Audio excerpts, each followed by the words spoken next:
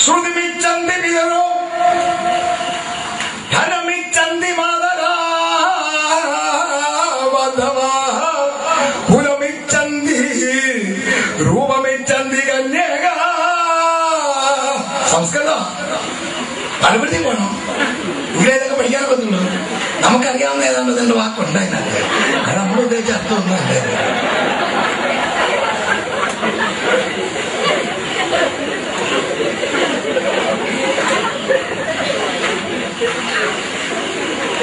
ശ്രുതിമിച്ചന്തി വിതരോ വിസ്തരിക്കാം വിവാഹത്തിങ്കൽ ഒരു മണവാളനെ കുറിച്ച് നാല് വിധ ആളുകൾ നാല് വിധത്തിൽ ചിന്തിക്കുന്നെന്നാണ് അപ്പോൾ പിതാവിന്റെ ആഗ്രഹം എന്റെ മകളെ കെട്ടാൻ വരുന്നവൻ ശ്രുതിമാനായിരിക്കണം സുപ്രസിദ്ധ വാഗ്നിയായിരിക്കണം അവൻ നാല് വാക്ക് പറഞ്ഞ അറിവുള്ളവൻ കഴിവുള്ളവൻ ആ.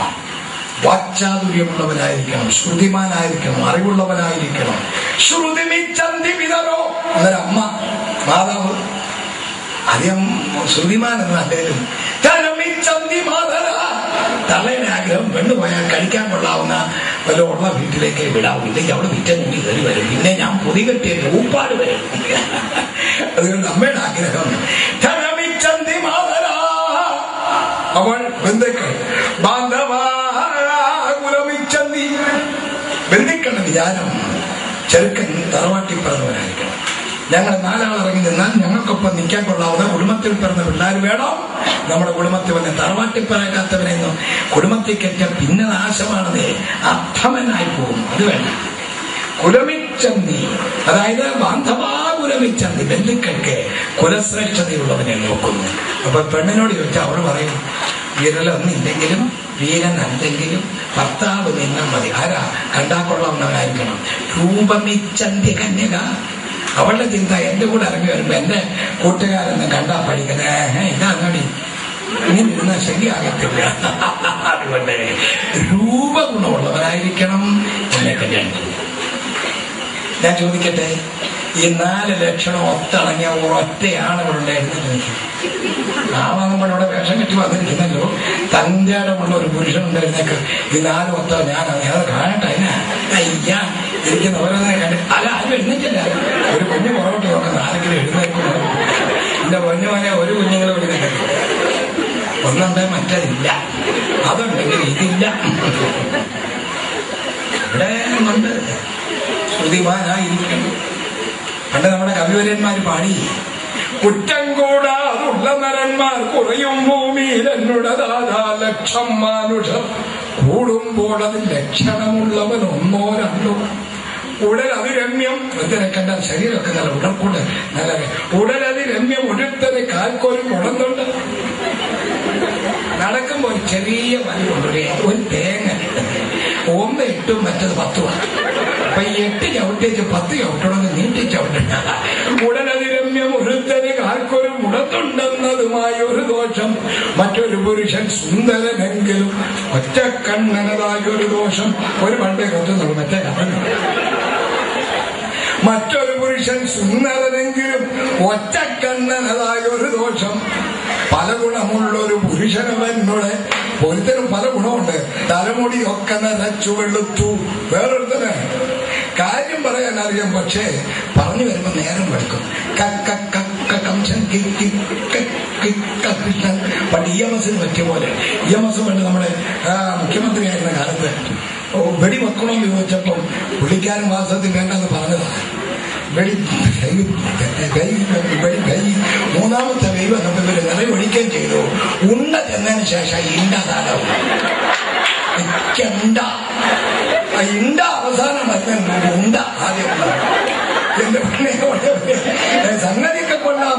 വളരെ അറിവുണ്ടെങ്കിലും പറഞ്ഞു വരുമ്പോ നേരം എടുക്കും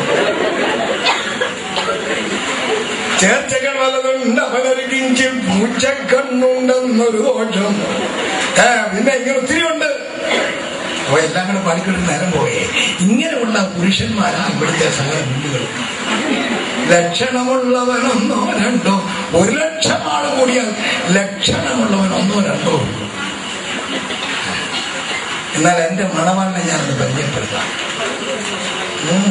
ഒന്ന് അവൻ സുലിമാൻ പന്ത്രണ്ടാമത്തെ വയസ്സിൽ താൻ ആരെന്ന് തെളിയിച്ചതാണ് അമ്മയപ്പന്മാരോട് കൂടെ ദേവാലയത്തിൽ ഉത്സവത്തിന് പോയതാ പെരുന്നാളിന് പോയതാ. അവിടെ ചെന്നിരുന്ന് ദേവാലയത്തിനകത്തവൻ കയറി ഇരുന്നപ്പോൾ ന്യായശാസ്ത്രിമാരും പരീക്ഷന്മാരും വട്ടമിട്ട് ചുറ്റി കൊച്ചം വന്നിട്ടുണ്ട് കേട്ടോ. എന്റെ പയ്യൻ വന്നു നമുക്കത് കാണാം. ഇവൻ അവിടെ നിന്ന് സംസാരിച്ചു തുടങ്ങിയപ്പോൾ മൂക്ക മൂപ്പന്മാർ മൂക്കത്ത് വിരൽ വെച്ച് ചോദിക്കുക അപ്പോ ശാസ്ത്രം അറിയാത്ത ഇവന് ഈ ജ്ഞാനം എവിടെ നിന്നപ്പാ?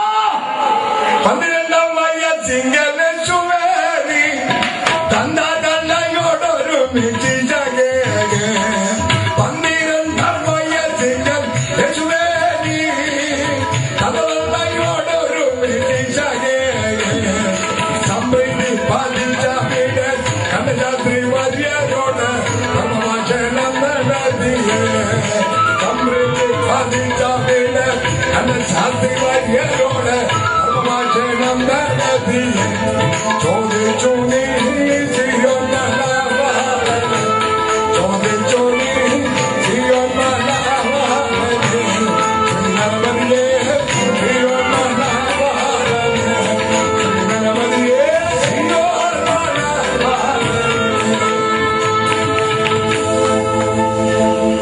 ന്യായശാസ്ത്രിമാരോടും പരീക്ഷന്മാരോടും വാദിച്ച് വേദപ്രമാണ സത്യങ്ങളെ തറപ്പിച്ച സുപ്രസിദ്ധ വാഗ്മി. അവനെ പോലെ ഒരു വാഗ്മിയെ പിന്നെ ഉള്ളകം കണ്ടിട്ടില്ല. കണ്ട്? ധനവാനായിരിക്കണം. മുത്ത ഒളിച്ചു വെച്ച വയലിന്റെ ഉടമസ്ഥൻ. പോരാ. സ്വർഗത്തിലുള്ളതും ഭൂമിയിലുള്ളതെല്ലാം അവന്റെ വകയാണ് ഈ സൂര്യചന്ദ്രനൊക്കെ അവന്റെ വകയാണെന്ന് അല്ലാതെ ആരതിനെ ഉണ്ടാക്കി വെച്ചേക്കുന്നത്? കത്തിജ്വലിക്കുന്ന സൂര്യനെ ഉണ്ടാക്കി വെച്ചവൻ എന്റെ കർത്താവ്. ഈ നക്ഷത്ര വ്യൂഹങ്ങളെയൊക്കെ ഉണ്ടാക്കി ചമച്ചു വെച്ചവൻ എന്റെ ആകാശത്തിലെ നക്ഷത്രങ്ങളും സമുദ്രത്തിലെ തിമിങ്ങലങ്ങളും അവന്റെ സൃഷ്ടിയാണ്. മരുഭൂമിയിൽ അറുന്നൂറായിരം എണ്ണത്തിൽ ഒരു നേരത്തെ ചാപ്പാട് കൊടുക്കണമെന്ന് തമ്പുരാന്റെ പദ്ധതി കറക്കി ക്രമപ്പെടുത്തി ആട്ടിറച്ചി വാങ്ങിക്കാൻ പോയാൽ എന്തോ ചെയ്യും? കോഴിയിറച്ചിക്ക് വലിയ ആയിരം കോഴിക്ക് പട്ടിക അറിയാവോ? ആയിരം കോഴിക്ക് ഏ? ആരെയാ? ആരാ പറഞ്ഞത്? ആ പുള്ളിക്ക് കാര്യം. ആയിരം കോഴിക്ക് അര കാട.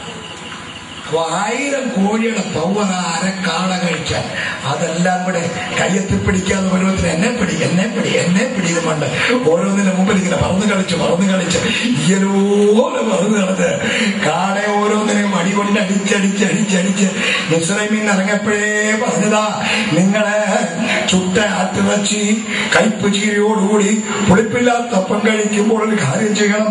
കാലിൽ ചെരുപ്പിട്ടും കയ്യിൽ ആ വാടി പിടിച്ചോണം. അതെന്തിനാ? അത് ഈ കാടയടിക്കാൻ അമ്മയെ പറഞ്ഞിരുന്നു അല്ല കമ്പലടിക്കാനല്ല മടി. എടാ ഇത് കുട്ടിക്കോലും കളിക്കാനും കമ്പടി കളിക്കാനും അല്ല വടിയെടുക്കാൻ പറഞ്ഞത്. കാടയടിച്ച് താഴെയിടാൻ നീ കയ്യിൽ വടി പിടിച്ച കൊള്ളേണം. അറിയത് അരക്കെട്ടുണ്ടായിരിക്കും ഇവരെല്ലാം ഈ വടി കൊണ്ട് കാടക്കിട്ട് ഓരോ കാച്ചി കാച്ചി എല്ലാത്തിനെയും താഴെ ഇട്ട. ഇഷ്ടം പോലെ ഇഷ്ടം പോലെ ഇതിന്റെ എല്ലാം ഉടമസ്ഥനാരാണെന്ന് ചോദിച്ചാൽ എന്റെ വാഴ്ത്തപ്പെട്ട യേശു. ഒരു ദിവസമല്ല ഒരു നേരമല്ല. നീണ്ട നാൽപ്പത് വർഷങ്ങൾ മരുഭൂവാസികൾക്ക് മന്നായും കടപ്പക്ഷിയും കൊണ്ട് പോഷിപ്പിച്ചവനായ എന്റെ കർത്താവ്. മഹാസമ്പന്നൻ അവൻ. അവനാണ് നമ്മളെ കല്യാണം കഴിക്കാൻ വരുന്നത്. അവനാണ് നമ്മുടെ മലമാണ് കരകളിയൊക്കെ സ്തോത്രം ചെയ്യുക. ഒരു നേരത്തെ വാങ്ങിയില്ല കർത്താവേ രാവിലെ. എങ്ങനെ കഞ്ഞി ഓ കഞ്ഞി പിന്നെ വെക്കാം കൂട്ടാന്റെ കാര്യം. അതെങ്ങനെയാണോ എന്നെ ഞാനിങ്ങനെ എന്തിനാണ് ഈ ഇതെല്ലാം അവിടെ പിഴിയുന്നത്? അല്ല എന്തോ കാര്യം? മഹാസമ്പന്നൻ വേണി കഴിക്കാൻ ഇരിക്കുകയാണ്. അവനോടൊരു വാക്ക് പറഞ്ഞാ പോരെ മകനെ ഗുഹയിൽ കൊണ്ടുകയറ്റിവൻ നിന്റെ വീട്ടിൽ തരാതിരിക്കുമോ? ആടിന്റെ മൊക്കറാവുണ്ട് ഭയങ്കരമായിരുന്നു ആമേ ഓളവൻ സമ്പന്നനാ. പോരാ ആ ബന്ധുക്കൾ വിചാരിക്കുന്നത് കുലശ്രേഷ്ഠതയുള്ളവരായിരിക്കണം. നമ്മുടെ കർത്താവിന്റെ അത്രയും കുലശ്രേഷ്ഠതയുള്ളവൻ ആരുണ്ട്? കുലങ്ങളായ കുലങ്ങൾ എല്ലാത്തിലും വെച്ച് ഏറ്റവും ശ്രേഷ്ഠ കുലമാണ് യഹൂദാകുലം. യഹൂദ കുലത്തിലെ യഹൂദ ഗോത്രത്തിലെ സിംഹമായി ഇറങ്ങി വന്ന. ശ്രേഷ്ഠൻ കരങ്ങൾ വീശി സ്തോത്രം. അവനൊപ്പം പറവാൻ ആരുണ്ട് ഇവിടെ? നാളെ രൂപഗുണമുള്ളവനായിരിക്കണം. അപ്പപ്പപ്പ അവനോളം സുന്ദരൻ ഇവിടെ ആരും വന്നിട്ടില്ല. എറന്തുക്കാരൻ ടി കെ ശമ്പൻ സാർ എഴുതി വെച്ചു. ആ ഇരങ്ങളിൽ സുന്ദരൻ വന്നിരൻ. ആരിലും ഉന്നതൻ ക്രിസ്തുവ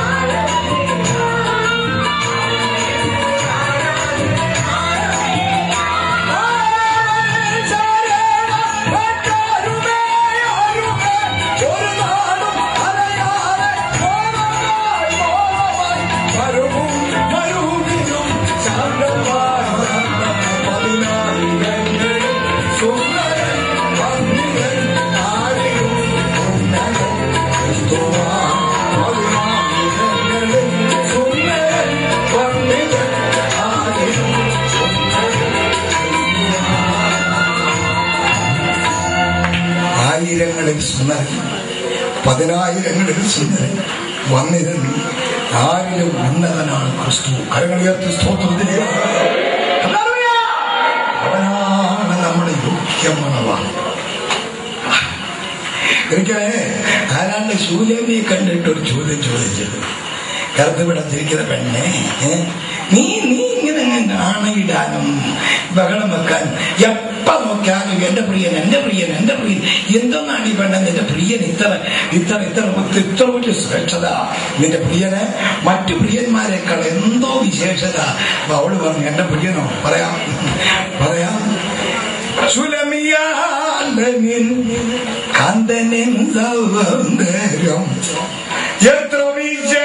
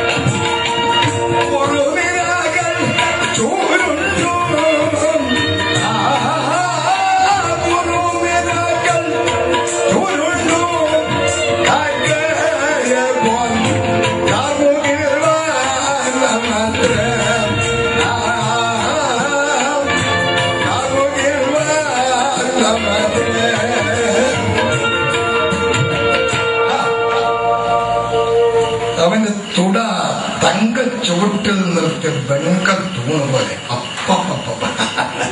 എന്തിനാ എന്തിനാ ഒത്തിരി പുറകോട്ടിറങ്ങി വിസ്തരിക്കുന്ന യോഹന്നാനോട് ചോദിച്ചാൽ പറയും അവന്റെ മുഖം സൂര്യൻ ശക്തിയോടെ പ്രകാശിക്കുന്നത് പോലെ.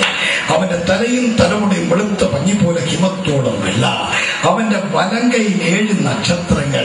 അവന്റെ വായിൽ നിന്ന് ഇരുവായത്തിലുള്ള വാൾ ആ പുറപ്പെടുന്നു. അവന്റെ പൊൻകച്ച കെട്ടിയിരിക്കുന്നു. അവന്റെ കാൽ ഉലകിൽ ചുട്ടുപഴിപ്പിച്ച വെള്ളോട് സദൃശം എനിക്കിതൊക്കെ അങ്ങോട്ട് പറഞ്ഞു പറഞ്ഞു വരുമ്പോ പാട്ടിങ്ങനെ അങ്ങ് ഇറങ്ങി ഇറങ്ങി. എന്ത് ചെയ്യാനെന്ന് പറയാ. എന്നെ പോലെ ഒരുത്തനല്ലേ ഇത് പാടാനൊക്കോ അല്ല കുറുപ്പച്ചനെ കിട്ടാൻ പറ്റുന്ന ഒരു പിടിയുമില്ല അപ്പോൾ അതുകൊണ്ടാണ് ഞങ്ങൾ ഇടയ്ക്കിടയ്ക്ക് അങ്ങ് പാടിപ്പോകുന്നത് സ്തോത്രം. അവേ ഓൾ ശ്രേഷ്ഠനായ ഇത് വിദ്വാൻ കുട്ടി അല്ലെങ്കിൽ ആ എസ്റ്റോസ് ജോസഫ് എന്ന് പറയുന്ന ഭക്തദാസം പണ്ട് എഴുതി വെച്ചത്. നിങ്ങൾക്ക് എല്ലാവർക്കും അറിയാവുന്ന ഒരു പാട്ടാ. സ്തുതിപ്പിൻ യേശുദേവനെ. ഹല്ലേലൂയ പാടി. സ്തുതിപ്പിൻ സ്തുതിപ്പിൻ യേശുദേവനെ. സ്തുതിപ്പിൻ ലോകത്തിൽ പാപത്തെ നീക്കുവാൻ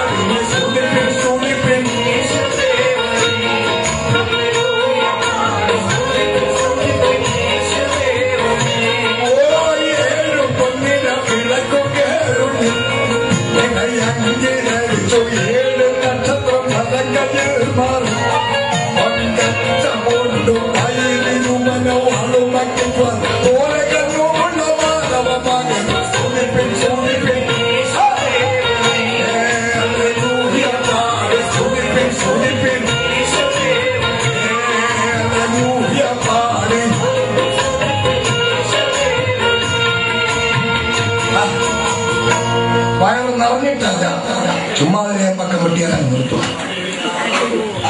എനിക്ക് അങ്ങോട്ട് കോളും അവനെ കുറിച്ച് ഇങ്ങനെ പറഞ്ഞു പറഞ്ഞു പറഞ്ഞു പറഞ്ഞു പറഞ്ഞു അവിടെ കാണുമ്പോൾ ചത്താലും ഞാൻ അത്ര ധന്യനാണ് അവൻ അവൻ രൂപഗുണമുള്ളവനാ ധനമെച്ചന്തി മാതരാബാന്ധവാകുലമെച്ചന്തി രൂപമെച്ചന്തി എന്റെ മണവാളൻ യോഗ്യൻ യോഗ്യൻ യോഗ്യൻ. ആ യോഗ്യനാരുള്ളൂ കുഞ്ഞാടേ